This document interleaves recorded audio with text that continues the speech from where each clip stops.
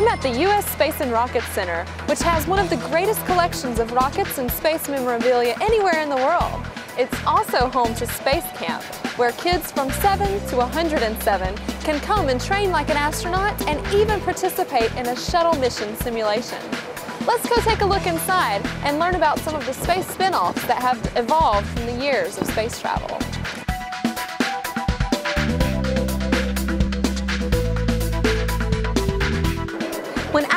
Work in spacesuits, they're protected from the extreme temperatures of space.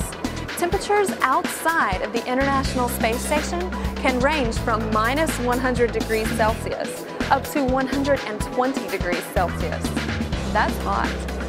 Did you know that the same technology that helps heat and cool astronauts while performing spacewalks is used to help NASCAR drivers stay cool during a race? I'm talking about the liquid cooling garment. Pretty cool, eh? NASA expects to return to the moon around the year 2018. I'm standing in front of a full-scale model of the Saturn V rocket at the U.S. Space and Rocket Center. The Saturn V vehicle originally took NASA astronauts to the moon over 35 years ago.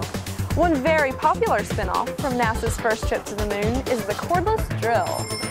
Astronauts needed a way to drill down deep beneath the moon's surface, as much as 10 feet in places, to collect core samples.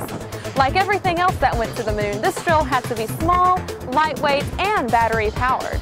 To develop the drill, NASA chose a company that has since become well known for its cordless products, Black & Decker.